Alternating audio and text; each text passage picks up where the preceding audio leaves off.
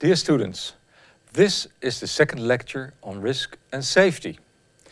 In this lecture I will continue with the risk analysis framework that I have presented in my first uh, lecture.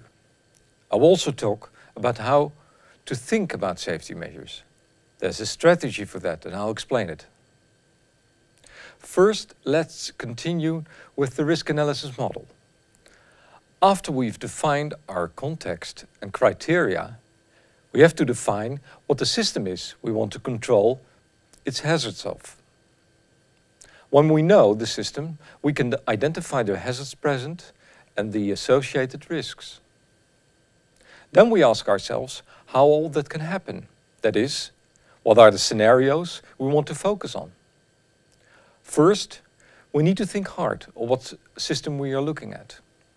Are we looking at a particular installation or at a particular plant? Are we looking at, at a plant or are we looking at a whole site containing many different plants?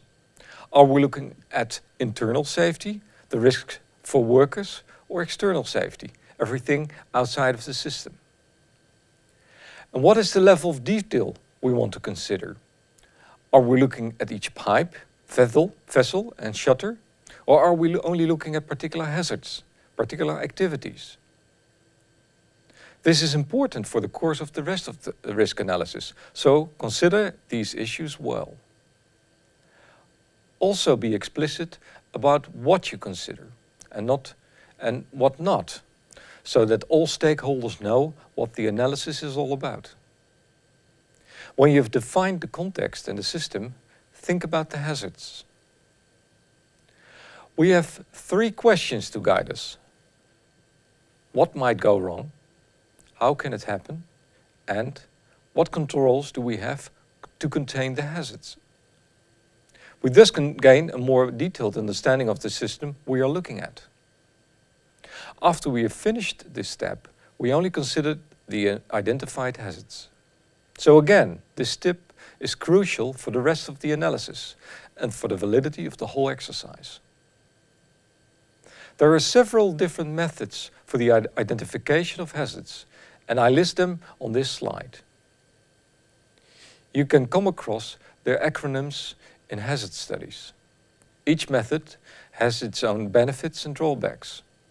In this lecture, I want to focus specifically on one method, called fault tree analysis. Fault tree analysis is a logical structuring of events leading to the top event, the thing you don't want to happen. Because of its logical structure, one can use fault trees to quantify risks. Although it has a particular event as its top event, you can use the fault tree for events that haven't happened yet. So, for instance, in a prospective way. In a fault tree analysis, one starts at the top event and works further down the tree to a point where you decide to stop. However, theoretically, fault trees can go on without end. Let's take as an example a room that has two lights in it.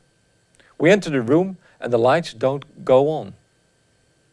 Our top event is a dark room and we can think of two reasons why this is the case. There's a power failure or the two lights are broken. Notice the little symbol that connects the two sub-events to the top event. This is called a gate, and in this particular instance, it is an OR gate. This means that only one of the sub-events is enough for the top event to happen. There is also an AND gate, which has a straight bottom. This means that both sub-events are necessary for the top event to happen. However, in our case, we have an OR gate. Let's, let's now take a look at the system as we discussed previously. We see a simple circuit with a power source, a fuse, a light switch and two lights. We already have tried the switch, but the lights didn't go on. We can now finish our little fault tree. Because both lights don't go on, they must be both broken, hence the AND gate. However, we also have a problem with the power. We can also have a problem with the power supply. Here we have three sources, the fuse, the switch and the source. They can all be broken, and each one of them is sufficient to cause the fact that we don't have any light in the room, hence the OR gate. This small example makes a few points very clear. We need to define the context and the system clearly. We can also include the power supply of the whole street or the whole neighborhood. We can also include many other ways in which the power supply can falter. These decisions are important for our, our analysis. Finally, we can add probabilities in the tree if we know them. What is the probability that a fuse burns out or a light breaks down? There are generic tables for that. By using particular mathematics, we can calculate the probability that I enter a dark room where there are, no, where there are two lights. The fault tree also makes the notion of a, of a scenario clear as a particular path to, through the tree. Interestingly, we can combine two fault trees at their top events and put them on their side, like in the next slide we then have a picture that vaguely resembles a bow tie. We also call this tree a bow tie. A bow tie only contains OR gates and it's mostly used in a qualitative way with no probabilities. Bow tie has a left-hand side in which all events are ordered that lead up to the central event and a right-hand side in which all events are ordered that result from the central event. On the left-hand side are the causes. On the right-hand side, the consequences. The central event is often defined as a loss of control. We have some particular hazard and it has gone out of control. This doesn't mean that something bad has happened. However, something unwanted has happened. But often we still have time to do something about it. In the next step of our risk analysis, we look at the consequences. We often define consequences in terms of fatalities, injuries or money. We have to agree on the denominator, otherwise we compare different things. Moreover, what is our time frame? Large accidents bring along consequences that go well into the future. Fatalities often have a large impact on, for instance, families or companies. How to take, out, take account of that? To answer these questions, one needs to have expertise pertaining to the domain studied. If we want to make life a bit easier, we can classify consequences into a lim limited number of categories. This is what companies often do. In this particular example, four loss categories are defined. Minor, critical, severe, and catastrophic for three different target groups, the plant, the environment, and plant personnel. For each category, a short description is given. There are lots of such matrices, and they can be used for a discussion about losses and target groups. Please note, there are many scenarios associated with these consequences. After we thought about the consequences in our risk analysis, we think about probabilities. This is not a necessary step. You only do, th do this when you want to quantify things. Here I give three examples of how you can express probabilities. As has been said before, it should be clear and agreed upon which denominator to use.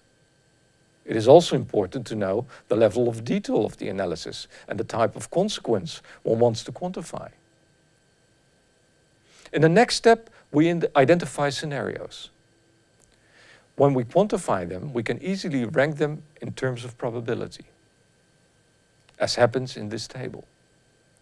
We then can decide which scenarios we want to approach in a deterministic way, that is, to prevent them altogether, and which ones in a probabilistic way, that is, preventing them with a certain probability. We might want to do sensitivity analysis as well, to see if our analysis makes enough sense we can take a, look, take a closer look at our data sources, for instance. Did we take account of the variability present in our system? Did we capture all factors, relationships? How about the quality of the data we've used? We can, we can also look more closely at our analysis. what happens if our input variable, variables change, or the relationships that we modeled. In each model, we need to make assumptions, and we need to make we need to know what happens if our assumptions are wrong. How does the risk increase then? We continue in our model with the sixth step, the risk assessment. Again, we can make life more simple if we work with classes and categories. This is not a requirement, of course, and all parties involved should agree on this method. We combine frequencies and outcomes in a matrix. In this particular matrix, we distinguish five frequency categories and four outcome classes. We now can label each cell with a particular outcome and an associated frequency. In the next slide, I show a particular matrix that is used in the chemical industry.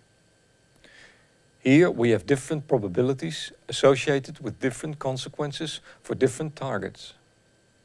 We also have five classes of severity. The colors in the matrix often indicate what will be done about the risk. Some risks in this matrix are accepted, whereas others are prevented to a certain cost, or they are insured. This made more clear, this is made more clear in the next slide. We have four risk colors, ranging from red, meaning the changes have to be made in the design before production will continue or start, and dark green ones, which are considered to be negligible or can be handled very well with the present measures. The most interesting ones are the colors in between, the light green and yellow colors. What is yellow and what is green can change due to new insights and technology. Or maybe something has happened which has deemed this risk more severe. This has happened to the area labeled 4A. It has changed changed from light green to yellow. In deciding what color each risk class will get, we often use the ALARA principle. It dem demarcates the border between what is acceptable, tolerable, and unacceptable or intolerable.